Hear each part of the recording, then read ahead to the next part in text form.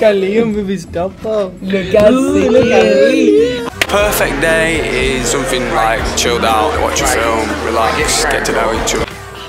We're like five best friends. charge of getting the set together didn't, you know, plan that they were going to be dealing with five idiots.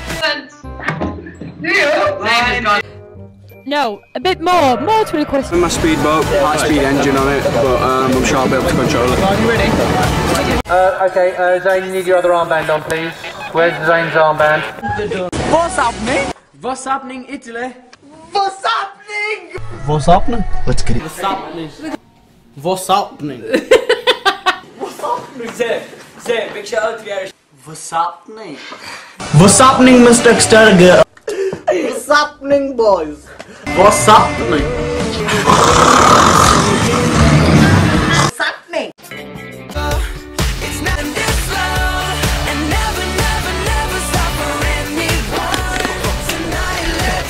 Look, come with the left and the right.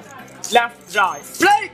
Oh, why won't you break? The guys are a bit unpredictable. You ask them to come. We're just whacking another screw in the chair. I do all my own stunts. I'm not wearing a string. The way that I've been holding It's pretty cool to see toys. Toys are cool. About to uh, reenact Elvis. None of us even have 20% of the cool that Elvis had, but it should be interesting uh, and funny. I thought I was speaking Japanese for a second because everybody just looked at me like I was weird. I'm upset about the show's ending and I'm going to be away from the boys for such a long time. Aside from that, I'm going home. Harry's trying to go for some Boyz II Men, and he thinks that we are capable of doing an acapella story of my life.